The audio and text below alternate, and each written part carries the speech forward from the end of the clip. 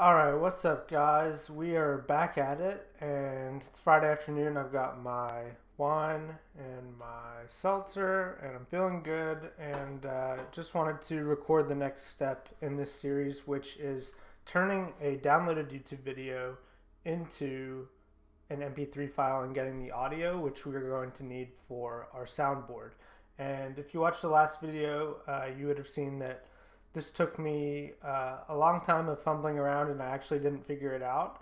Uh, and I just had to go back to the drawing board and try and figure out how to get this done. And I figured it out, so I'm going to share it with you now. And then we're going to go in the next videos on our merry way as far as starting to split the audio into clips, uploading that to S3. A lot of good stuff to come. So if you saw the last video, you saw that I was just really struggling with getting this software, which is called FFmpeg. I've been calling it, yeah, FFmpeg on my own or in my mind. And just, it was kind of tough. Like, didn't really want to put it in my binaries and didn't really want to mess with that. And so, just Googling around, I ended up finding that you can download it with Homebrew.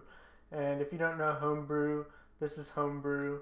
Uh, it is a package manager for Mac or Linux, and it's great. It's um, how you get a lot of stuff that has to basically be a executable binary is the way I think of it. Uh, so it gets stuff like NVM for Node. You can download Node on it. You can download a lot of stuff. And uh, I found that there uh, is an FFmpeg package. So if you search, you can see here, uh, and then you run brew install, assuming you have homebrew, brew install, or brew get. What is the command? Um, I think it's brew install ffmpeg is what I did, and so that's great. Uh, and then I had it, and I have it as a command line utility. The next step after that was to try and figure out how do I actually use this and what are the commands to turn the video into audio. And I found this great um, Stack Overflow, or I guess this is called Ask Ubuntu, but it's basically Stack Overflow. And it ended up being this command.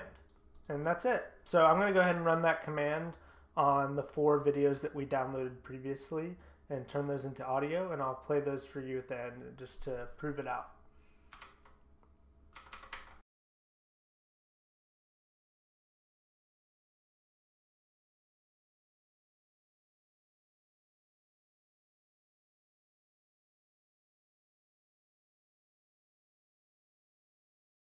Okay guys, so we're done and I'm going to go ahead and play one of these just to uh, prove that it works here.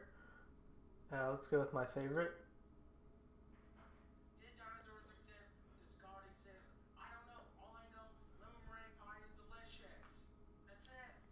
So we're good, and um, the thing I'm going to do next is figure out a way, now that we have this command line utility, to write a little bash script and maybe go through an object and extract clips from those MP3s. And that means I'm going to have to watch those videos and denote the timestamps for when I want those clips pulled out.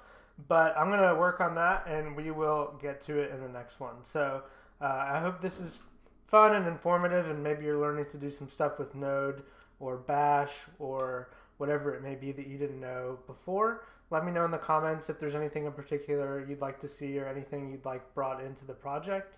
I think uh, as simple as this idea is, we could end up learning a pretty good amount and it'll be pretty fun. So, uh, yeah, that's it. I'll see you guys in the next one. Thanks for tuning in. Bye.